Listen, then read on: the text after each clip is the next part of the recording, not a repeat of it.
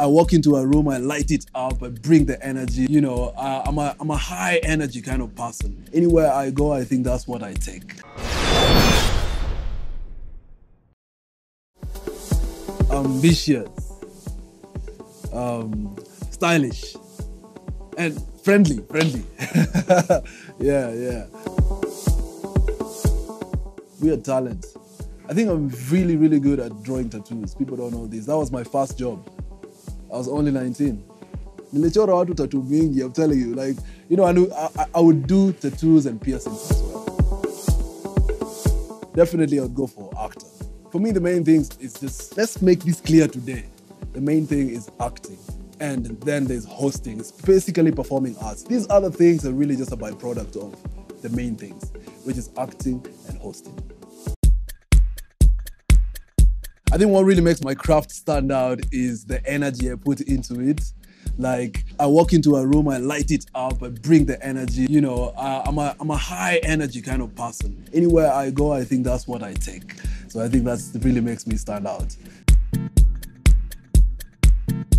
Some of the values that I've really, really, really embraced within you know the work space is consistency. I feel like it's very important. This thing of popping in and out, you know, doesn't really, really work, especially in this business.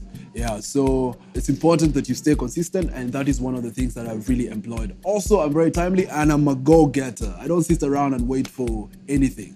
You know, people see me, I'm here, I'm there, I'm doing this, I'm doing that, and they just think, you know, this thing, hey, this guy is so lucky, he just gets called and he shows, he shows up. No, no, no, no. You have to get up and go for these things.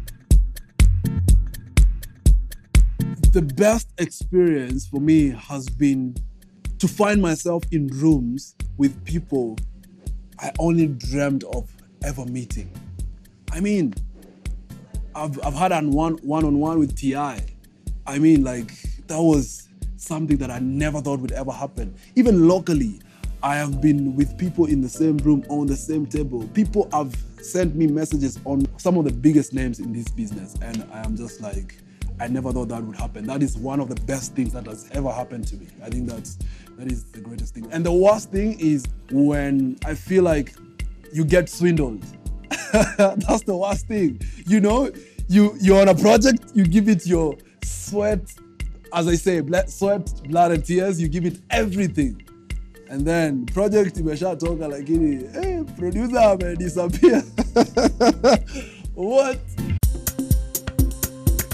Swanglish. Swanglish is, I mean, it's a, it's a thing that makes us Kenyan. I would really like to raise my glass to my mom and my dad. Basically, my parents have been very instrumental in my career or in my life, not because they supported what I wanted to do directly, but because they were very fluid with the choices that I've been able to make. It's like, this is what I want to do. Okay, we'll do it, we see. They were not like, ah, we don't want you to do that. Who do you know who's done that, who's been successful, you know? Because, you know, the experience I have with my, some of my friends, that's the kind of like, you know, heat they had to face to do what they do, you know, to be in this business. So I'd really raise a glass to them for like, you know, just being there and being like, do it, let's see. My advice to any young guy or any young, young lady as well who's trying to get started off in the industry, first thing I would say be yourself. Create a very authentic brand. Do not go into style because you think style will sell and you're not stylish. You know, you're, you're going to struggle at some point. You know, the thing that comes easy to you, do it. Go with it. But also, I believe in learning new skills and crafts so you can learn something new and you can perfect it. So, also, don't listen to your friends. Most, most of your friends think getting here is so hard, so they might talk you out of it. So stay in your head and become what you want to become. Stay dreaming.